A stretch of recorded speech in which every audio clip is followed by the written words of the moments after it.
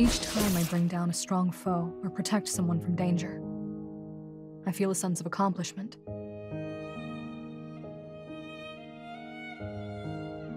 So while I wouldn't say I enjoy it, I suppose it does brighten my day a bit.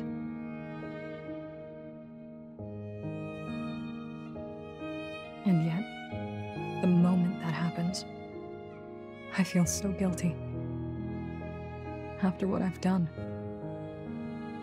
I don't have the right to be happy.